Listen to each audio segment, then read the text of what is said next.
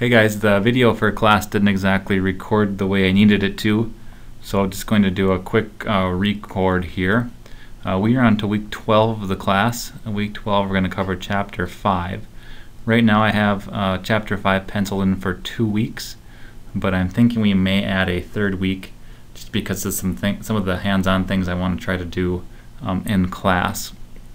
Um, chapter 5 is all about mobile security. So we get into things like wireless, Bluetooth, and then mobile devices like cell phones, um, tablets, and then our laptops. So just uh, going to go through a few slides here. Not going to go through them all. But the objectives for chapter 5, um, after chapter 5 you should be able to describe some attacks using Wi-Fi and Bluetooth networks explain the different types of attacks on the mobile devices, list some defenses for a home Wi-Fi network, describe how you can um, get onto a public, public wireless network a little bit more securely, and list some types of security we can use for our mobile devices.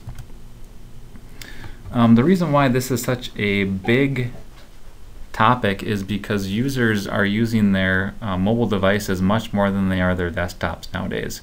Uh, back in 2008, I think the book says 80% of user activity was done on a desktop computer.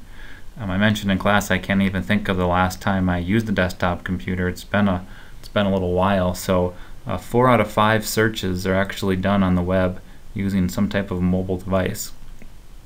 So it's everywhere. Um, that's what people want. They want to be able to have information at their fingertips. They want to be mobile. They want to be able to roam around and uh, still have access to all of their resources. So because of this, wireless networks have become a prime target for attackers. Uh, one of the main attacks is attempting to capture unprotected wireless signals. If they can uh, see what's happening on the network, this just opens up a whole new av avenue for these attackers. Um, there are several different types of um, mobile device attacks that we'll talk about here, um, but typically how they get in, get inside of uh, the mobile devices, they're directing the attacks towards the wireless networks because that's how we're connecting our mobile devices is through some type of wireless technology, whether it's Wi-Fi or whether it's uh, Bluetooth. So the next part of the chapter gets into gets into some of the different um, types of wireless networks that we encounter using a mobile device. Uh, first is Wi-Fi, and a lot of this is kind of a, a repeat of my hardware class or my networking class if you're in that. Uh, but if you're not, it's, it's a good read and it's always a good recap if you are in those classes. Uh, but a Wi-Fi network is going to use radio frequency transmission to send our signals back and forth. Since it's using radio frequency transmission, you know, anybody can freely pick up that signal. Anybody within range can pick up those signals, um, making it uh, a security vulnerability.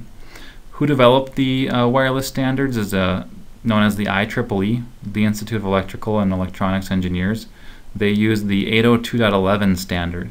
And within the 802.11 standard, that are there are different forms. There's the 802.11b, uh, BAG, and an AC.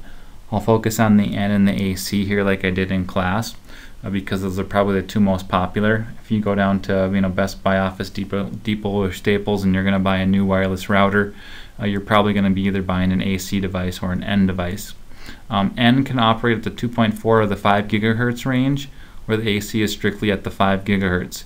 Uh, the 5 gigahertz can go much faster because of the higher frequency, and also um, the AC will use more antennas to send and receive. Uh, but since it's using 5 gigahertz, it can't go quite as far as far as the distances. So if we look at the speed, 7.2 giga, uh, gigabits per second, but the distance is only 115 feet. That's indoors. The 802.11n at the 2.4 um, gigahertz can go up to 230 feet. Um, at the five, at the 2.4, it's actually limited to 150 megabits per second, um, but sending or receiving, I should say, so 300 total. Uh, but 5 gigahertz range can go up to 600 megabits. That's 300 sending or 300 receiving. And um, with that, you know, we're not going to be able to go uh, quite as far with the 5 gigahertz versus the 2.4.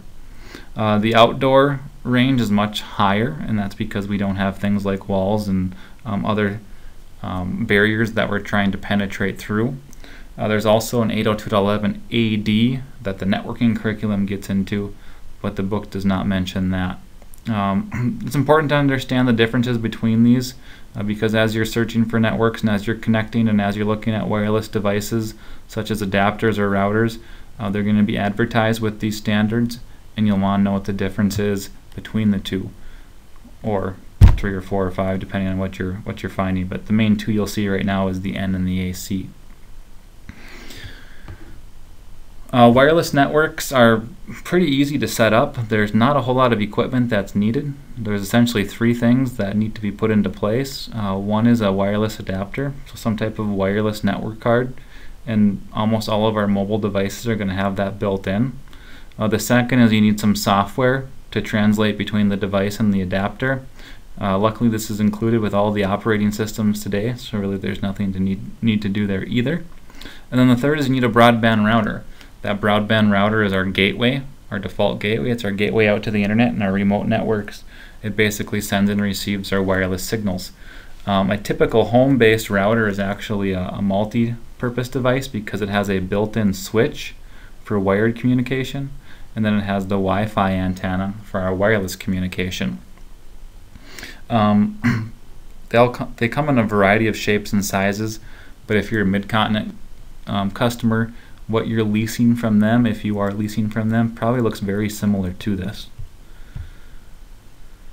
Uh, the other day in class, I had students uh, draw up their picture of what their home wired or what their home network looks like, and many of them look very similar to this. We had some wired devices, we had some wireless devices, but at the heart of it, we had that wireless router typically. Uh, besides a wireless router in a more corporate business type environment, you have access points, more sophisticated than a router. Uh, these are actually hardwired um, back to a router or to a switch. So you can think of these as like a wireless switch. Um, in class, if we wanted to connect everybody together wired, uh, we would take a cable and we'd connect it back to a switch. In a wireless network, if we want to connect everybody, everybody would connect back to the same access point. Um, Typically, there'll be multiple access points set up, and this is allow this allows you to to roam from uh, you know one building to the next or from one room to the next. And for some reason in class, I kept calling this um, handcuffing. Um, it's just actually hand hand handing off or doing a handoff from one access point to the next. Um, I use the example um, in class. You know, here on campus, uh, if you're walking from the tech center where class is at over across the street to the student union, when you get to the street, you're going to be um, handed off to a um, access point that's over in that union because now you're closer to that. Uh, I think in class I said you're going to be handcuffed at the street. I should have said you're going to be handed off um, at the street to a different access point because now it's closer to you.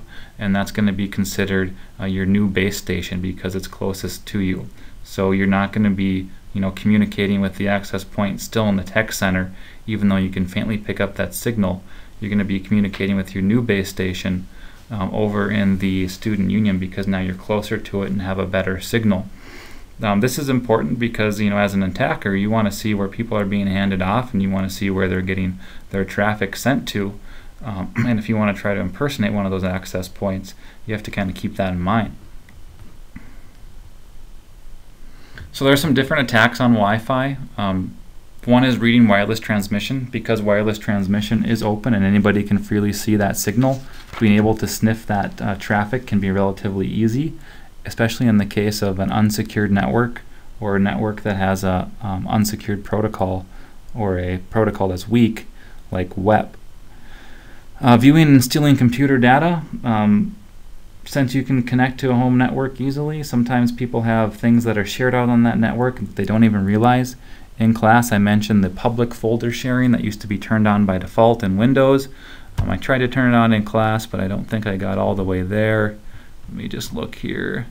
Um, no, it's not showing the public folders, but anything inside of those public folders uh, would be shared out automatically. And if you can connect to the network, you can connect to that share and now you basically have a gateway or avenue into that, that PC. Um, injecting malware, it says because an attacker might access the network behind a firewall, they could um, inject trojans, viruses, and other malware onto the user's computer because now they're into the network um, they could intercept traffic, kind of do a man-in-the-middle attack that's being sent. Intercept traffic, replay it out on the network with some malware, and, and injecting it out onto the onto the wireless network. Another one kind of goes um, in with the uh, war driving here, but if you can connect to a wireless network that is insecure or um, has a um, open standard set to it, so basically no no good encryption on it, um, you can now do malicious activity on that network. Um, I give the example of you know people connecting to wireless networks that are open and um, disseminating child pornography or disseminating viruses. And now, when the authorities catch wind of this and, and see this, it's tied back to the person that owned the wireless network because uh, they don't know that it was somebody sitting in the in the driveway or the parking lot actually accessing the Wi-Fi. They only know that it was coming from this wireless network, this IP address, and whoever owned that um, is responsible for for that data and responsible for locking down their wireless network. So you don't want to have open um, networks out there. You don't want to have networks using WEP if you're using um, that type of that type of encryption. It's just not safe. I then showed in class a, a video on on war war driving. Uh, if you go out to YouTube and you do a search for war driving with professional hackers, uh, I won't show this in this video just for time's sake. Uh, but what this does is it shows uh, a couple of guys driving around um, looking for um, either open networks or WEP networks and uh, how quick and easy it is to crack a, a WEP network. Kind of get into some reasons on uh, you know why it's not secure and how they developed it. Uh, but they're still seeing it out there. This video is a little bit older, um, but you know, as he says in the video, people just don't realize that they're not secure. They um, fire up their brand new uh, router or access point. It doesn't have encryption turned on by default, and uh, now they have you know an unsecure network that anybody can access.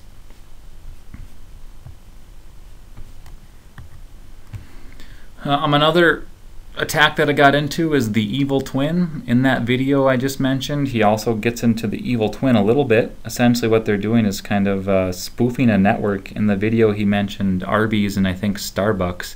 Essentially, what, what he's talking about doing is starting up a wireless network or starting up a new SSID that has the, the same network name. So you fire up a wireless router called Arby's, you make it open and unsecured when people are uh, in Arby's, they connect to it. They think they're actually connecting to Arby's network, but they're not. They're connecting to this evil twin or this uh, fake wireless network. Now that attacker can grab all of the traffic that's going to it. So you need to be um, aware of what you're connecting to and um, what you're sending out on those on those networks if they are uh, public types of networks. And we'll get into some of the defenses um, next week. Uh, Bluetooth is mentioned as well. Since Bluetooth is a common networking technology, um, we see it very often with our mobile devices. It's more of a pairing or connectivity type of protocol, but you can still send and receive files and whatnot using uh, Bluetooth. It does have a lot shorter range, only 10 meters compared um, to the lot further distances of our Wi-Fi. Only one megabit per second for the transmission rate. But there's basically two attacks that are mentioned in the curriculum on Bluetooth. One is uh, bluejacking, and bluejacking is more of a nuisance. Basically, you are sending up information, you're pushing up information to the Bluetooth enabled device, maybe a text message or um, some type of um, annoying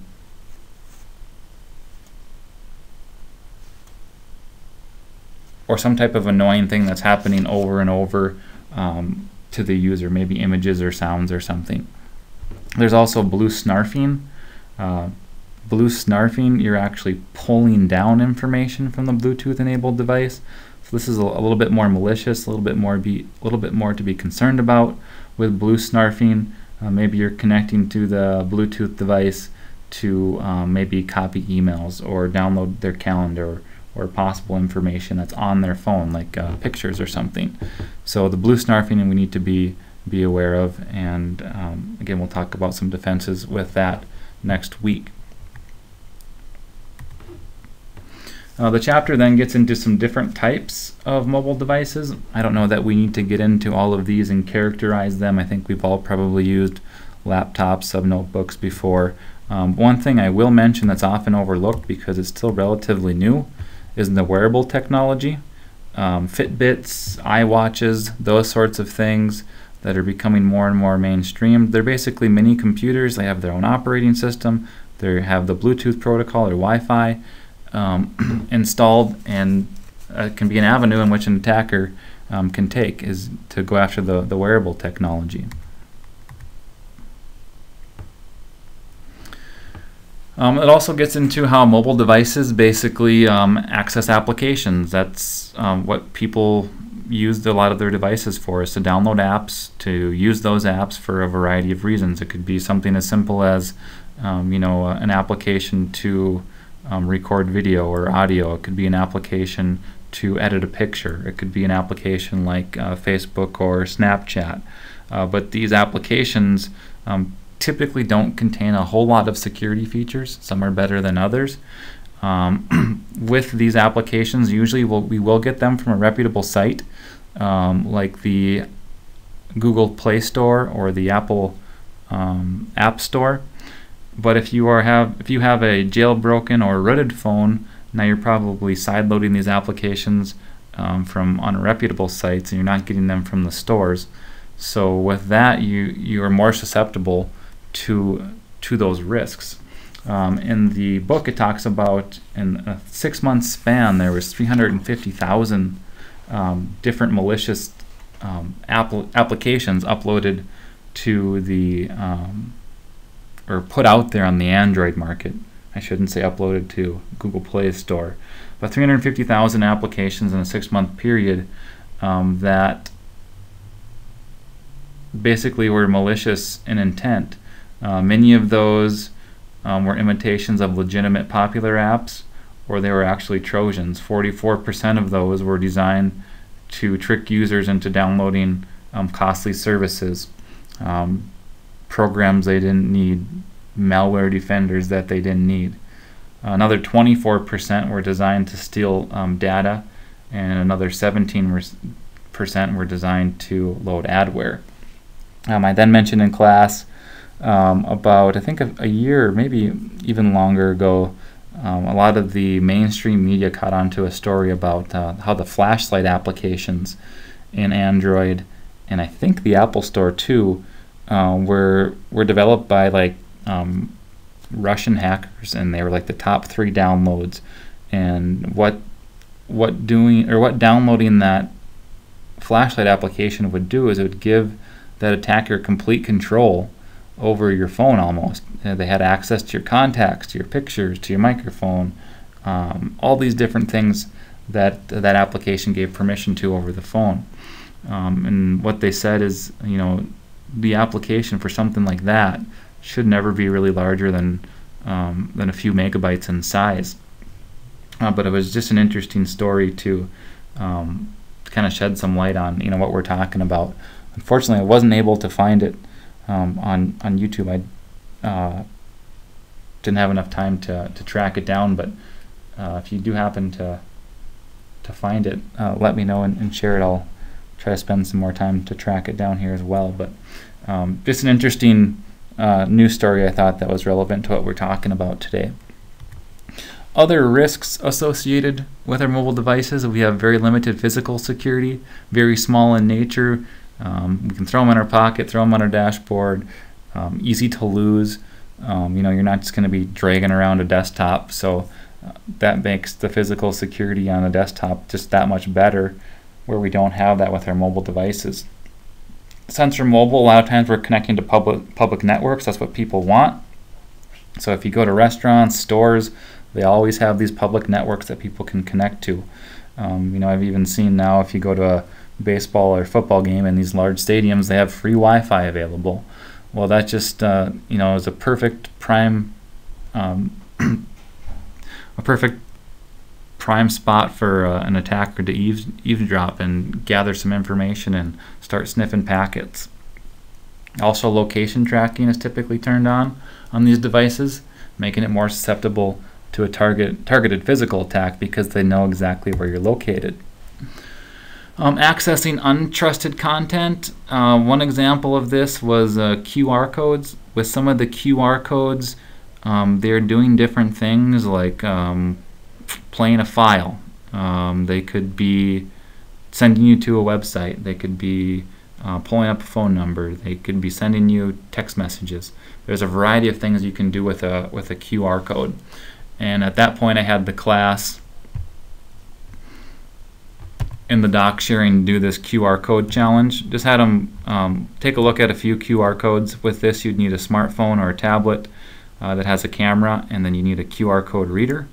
And then I had them um, scan these QR codes and perform the functions or see what they were all about with those. So if you wanted to do that um, at home or as an online student, you definitely can. There is one here though where you would not be able to do that. Um, what they did is when you scan, or what happened is when you scanned this QR code, it had them walk down um, inside the building and find another one. These were by the pop machines, and then by the pop machines there was another QR code that said um, you found it, come back to class. The last QR code I had them scan was a note about Wednesday's class. Um, I will be out of town, so any of my classes on Wednesday are not going to meet. You may have saw the email that I sent out about Kali Linux. Um, for class next week, we're going to try to uh, hack WEP or crack the WEP protocol, just like they kind of do in this video. We'll see if we can't get that going in, in the class. And in order to do that, you need the Kali Linux program. So um, check out that email that I sent. It should give you some direction as far as um, installing what you need for class that day. Uh, that's about it for uh, this video. Um, again, sorry the actual video didn't work in class very well, but uh, this hopefully went through all the information that, that you need. So um, we'll see you next week.